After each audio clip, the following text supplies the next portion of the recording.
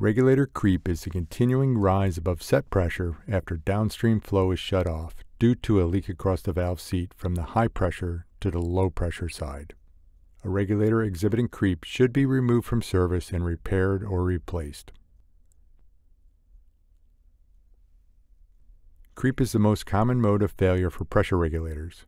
This is an across the seat leak most likely caused by particles lodging between the seat and valve poppet.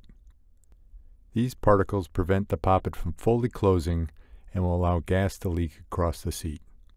Creep is generally caused by contaminants from the cylinder or poor purging techniques when using corrosive gases. Corrosive gases can degrade material in the regulator, and with the presence of water can form deposits on the seat of the regulator. Also, light gases such as helium or hydrogen are more subject to creep than heavy gases such as argon. A low pressure differential can cause creep. The inlet pressure of the regulator helps to tightly close the valve seat. When the difference between the inlet and outlet pressures is small, the closing effect on the valve seat is reduced, thus contributing to the possibility of seat creep.